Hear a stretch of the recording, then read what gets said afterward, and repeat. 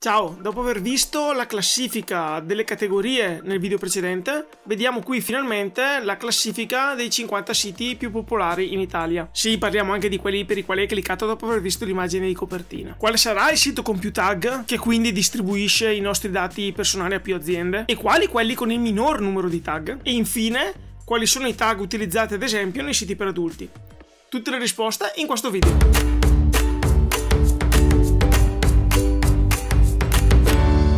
Questo video è suddiviso in tre parti. Nella prima parte che inizia subito vediamo velocemente la classifica dei 50 siti più popolari in Italia. La vediamo velocemente perché tanto tutta la suspense che potevo creare me la sono giocata nel video precedente. Quindi se ami i brividi e non te lo sei ancora visto, metti in pausa adesso, vai a rivedertelo Oppure, se vuoi fare la cosa più completa di tutte, cominci addirittura dal primo. Qui invece andiamo direttamente al sodo, vediamo tutte le posizioni con qualche commento e poi il resto lo puoi andare ad approfondire nell'articolo sul mio blog associato a questo video, dove trovi tutti i dati, trovi il file da scaricare con dentro tutto. Nella seconda parte parliamo di piggybacking, non preoccuparti adesso se non hai mai sentito questa parola, ti racconto tutto dopo. Nella terza e ultima parte vediamo invece quali sono i tag di Pornhub, giusto per analizzare un sito per adulti. Vediamo un po' il, diciamo, il dietro le quinte. E ci sono un sacco di cose super interessanti per chi come me si occupa di marketing e di dati, che sembrano temi distanti dal mondo della pornografia, che invece, al di là della sensibilità di ognuno, qui non stiamo parlando di pornografia in sé, è un mercato molto avanzato dal punto di vista tecnologico. Partiamo! Ecco il dettaglio dei siti. Al primo posto la legge per tutti.it con 162 tag ed una media di 36 tag per pagina.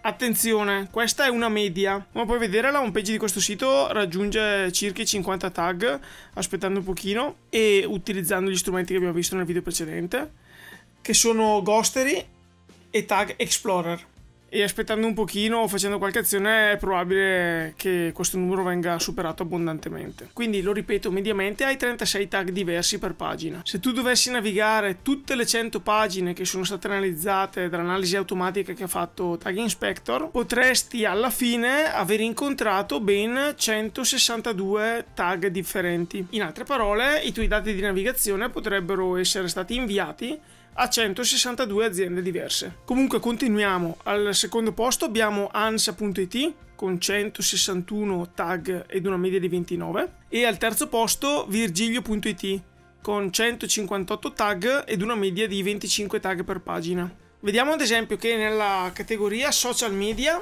nei primi 50 siti più visitati in Italia. Oltre a Facebook troviamo anche Reddit, che sinceramente non credevo di trovare nei primi 50, ma che evidentemente è più utilizzato di quello che si pensi. E addirittura VKontakte, che nel caso non lo conoscessi lo possiamo definire come il Facebook russo. Parlando di social media, YouTube è presente, solo che l'avevo inserito nella categoria video, insieme a Mediaset.it, Netflix, RaiPlay e Diretta.it. I sei siti per adulti presenti nella, nell'analisi sono comunque tutti in basso, tra la 38esima e la 45esima posizione, con un numero di tag variabili tra 5 e 9. Ricorda però, questi dati sono i dati di un'analisi che proviene dagli Stati Uniti. Sebbene ti abbia detto che i dati, i numeri sono comparabili tra le visite degli Stati Uniti e le visite italiane, ci sono alcuni aspetti per i quali possono differire, in particolare sui siti americani, i, i, quali, come vedremo poi, escludono l'attivazione di alcuni tag per gli utenti che navigano dall'Europa. Comunque, questa è la classifica completa e ti ricordo che tutti i dati li trovi sul mio sito sull'articolo associato a questo video il cui link è in descrizione. Lì trovi tutti i dettagli, trovi anche il file completo scaricabile con tutti i dati acquisiti dalla scansione di Tag Inspector con tutte le pagine visitate e tutti i tag presenti in ogni pagina. Puoi sbizzarrirti con l'analisi se vuoi. Dato che abbiamo parlato di numero di tag medio per pagina, può essere anche interessante vedere qual è la pagina che presenta più tag in assoluto. Ricorda che non è nulla di più di una curiosità, perché il numero di tag effettivi presenti su un sito dipende da tantissimi fattori indipendenti come vedremo tra poco, dalla volontà de, di chi gestisce quel sito. Comunque, giusto per soddisfare la curiosità, la pagina è questa. Ed è questa con la scansione fatta l'8 di gennaio. Oggi potrebbero essere diversi dati. La scansione dell'8 gennaio effettuata dagli Stati Uniti ha rilevato 101 tag, Facendo una scansione adesso dall'Italia ne rileva 50 circa. Questa pagina appartiene al sito ansa.it che è il secondo sito con il numero medio di tag per pagina. Ora potresti chiederti perché pagine diverse hanno tag diversi? Non hai detto che i tag li inserisce il responsabile del sito? Sì e no, è giunto il momento di parlare di piggybacking.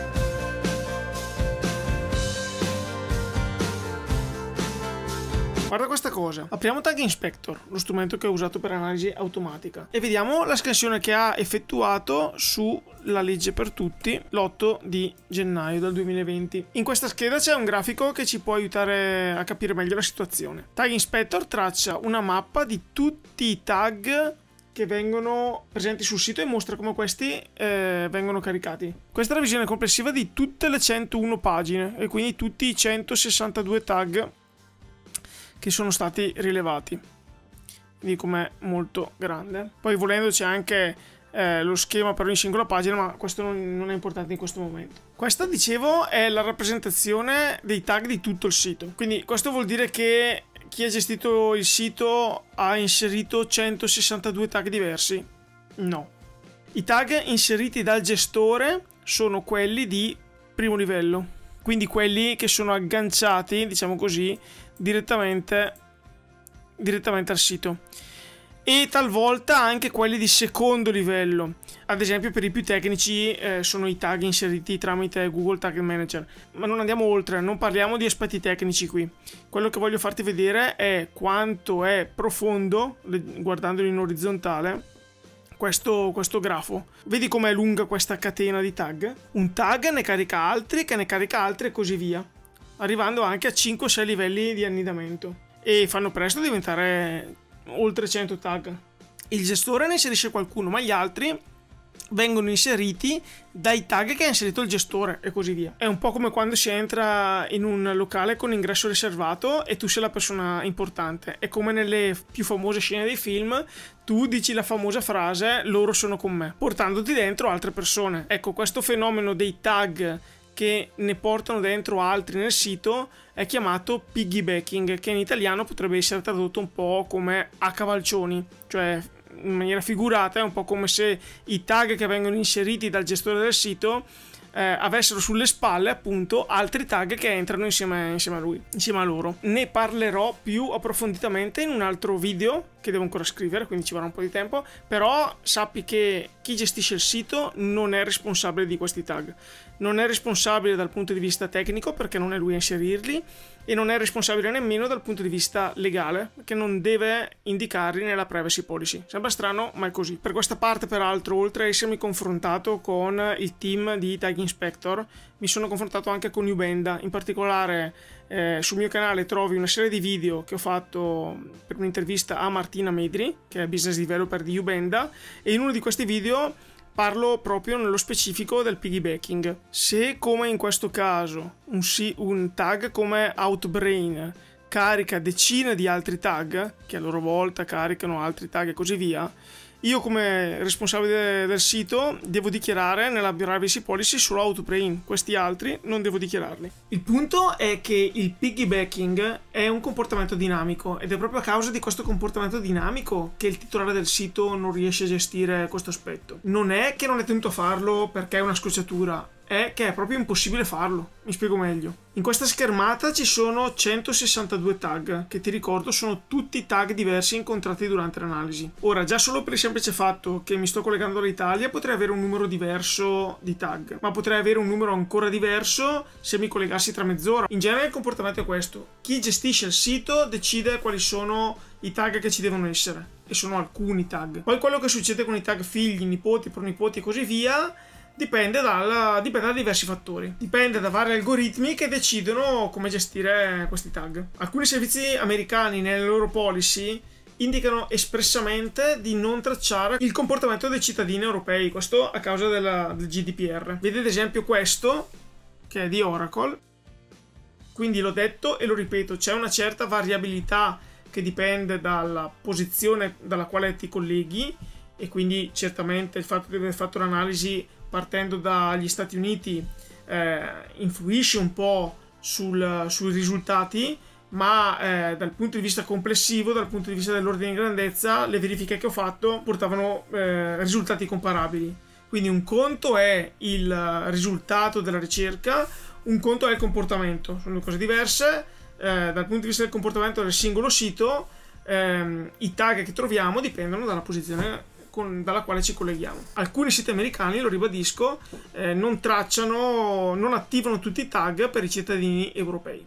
Peraltro ricorda che questo comportamento dinamico non ha alcun impatto sulla funzionalità del sito. Il sito funziona sempre allo stesso modo, quello che cambia è quello che accade dietro le quinte, il numero di aziende alle quali i nostri dati vengono inviati, diciamo così. Quindi dal punto di vista della privacy, di fatto un utente non può sapere a priori quali sono le aziende alle quali andranno i suoi dati, non può saperlo.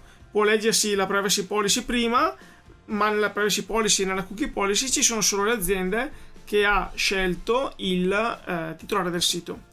Eh, sarà poi responsabilità di queste singole aziende nelle rispettive privacy policy e cookie policy indicare quali a loro volta aziende eh, hanno accesso ai dati di secondo livello e così via. Una possibilità eh, per chi fosse più sensibile alla tematica per avere qualche informazione su eh, non, eh, non, a priori però, ma in tempo reale, diciamo così, sulle aziende che hanno accesso ai loro dati, è di attivare eh, i plugin, di, di, attivare le estensioni che ti ho mostrato eh, per Chrome come Ghostery o mm, Tag Explorer che ti danno, ti dicono quali sono i tag che vengono attivati in quel momento. Vediamo infine in chiusura quali sono i tag attivati da Pornhub. Apriamo quindi il Tag Inspector e vediamo eh, la scansione che è stata fatta l'8 gennaio. Qui abbiamo solo 6 tag, vediamo quali sono. Abbiamo 4 tag di Google, tra cui l'onnipresente Google Analytics, oltre a Traffic Junkie e Mixpanel. Velocemente vediamo cosa sono questi due strumenti super interessanti per chi si occupa di marketing. Allora, Traffic Junkie è la piattaforma pubblicitaria di Pornhub. Guarda qua che numeri, eh, ci credo che Pornhub sia offerta di aiutare l'Inps. Ed è vero, ecco l'account Twitter di Pornhub, che è fondamentalmente un account di marketing e comunicazione, ed il tweet vero che è stato fatto all'Inps da Pornhub dove si offriva l'aiuto. Guardando il sito di Traffic Junkie e spulciando tra le pagine, qui si capisce che è un sito di, di qualità. Guardate ad esempio la possibilità di targeting con la possibilità di... vabbè, alcune sono più semplici eh, e classiche, eh, possibilità di decidere se di mostrare la pubblicità, di far comparire la pubblicità a chi eh, guarda durante il giorno, a chi guarda durante la notte, eh, targeting geografico, targeting per dispositivo, insomma ci sono tar- targeting per keyword di ricerca e soprattutto che, un tipo di targeting che mh, è unico di questo tipo di, di piattaforme ovviamente è quello sulle preferenze sessuali perché altre piattaforme questo, questo, questa informazione non ce l'hanno l'altro tag invece è Mixpanel anche questa è una super piattaforma di analisi, una piattaforma di analisi comportamentale. Credo che sia in grado di identificare automaticamente anche i segmenti che è una funzionalità ricercatissima, soprattutto per chi fa e-commerce eh, e vuole andare a individuare vari segmenti di utenti. È ad esempio in grado di fare ehm, analisi di questo tipo, guarda questa, mostrami gli utenti di Bing o di Google o di altri siti che mm, sono in correlazione con l'evento aggiornamento dell'abbonamento, quindi upgrade dell'abbonamento fantastico, cioè a me queste cose fanno impazzire. Molto bello, molto molto bello, quindi me la guarderò sicuramente bene. Peraltro ha anche un piano freemium e quindi ti permette di ti permette di cominciare a sperimentare senza, senza spendere troppo, insomma, poi Uh, insomma, devo guardarmela, non, uh, non, non, la conosco, quindi non ne voglio parlare più di tanto. Um, ovviamente piatta- è una piattaforma, è un tipo di piattaforma che ha senso, immagino, per, ehm, per siti con, con, grandi numeri. Perché per fare analisi comportamentale o hai tanti numeri o non riesci a estrarre informazioni da, dai dati. Comunque questo è quanto. Ho cercato di presentare delle situazioni nel modo più oggettivo possibile fornendo dati ed evidenze. Spero che questo video contribuisca a migliorare la gestione dei tag sui siti di casa nostra e anche a sensibilizzare maggiormente gli utenti e i gestori del sito. Non stiamo parlando di frodi o di azioni illecite, tutto avviene nella legalità. Almeno fino a quando, rispetto alle tematiche di cui stiamo parlando, i siti rispettano GDPR e cookie law. E qui devo dire che ahimè la strada è ancora un po' lunghetta, ma di questo te ne parlo nel prossimo video. Alla prossima, ciao! Registrando, faccio partire. Capelli qua. Mi sa che mi sa che la quarantena ormai i capelli sono andati. Vabbè.